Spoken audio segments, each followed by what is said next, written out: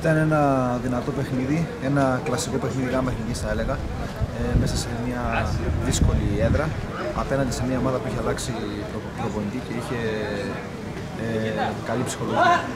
Από εκεί πέρα για το παιχνίδι, ε, έτσι όπως έχω στο μυαλό μου, το, θεωρώ ότι το πρώτο δεκάλεπτο και το τελευταίο δεκάλεπτο του παιχνιδιού ανήκει στον αντίπαλο, ανήκει στην ομάδα του Από εκεί πέρα, σε όλο το υπόλοιπο διάστημα, είμαστε κυρίαρχοι δημιουργήσαμε πάρα πολλές ευκαιρίες, αλλά δεν καταφέραμε να ευτυχίσουμε με την επίτευξη κάποιου τέρματο.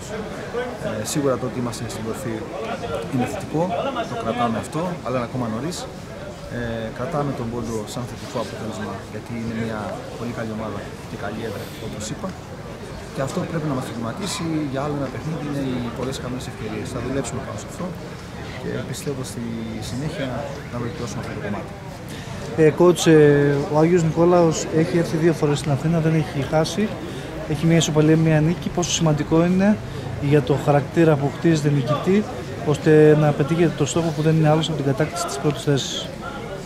Εντάξει, εσείς το πάτε πολύ μακριά. Εμείς κοιτάμε κάθε παιχνίδι ξεχωριστά. Δουλεύουμε κάθε παιχνίδι για να κερδίζουμε. Σήμερα δεν το καταφέραμε αυτό, αλλά όπως είπα και πριν, κρατάμε το βαθμό που είναι θετικός.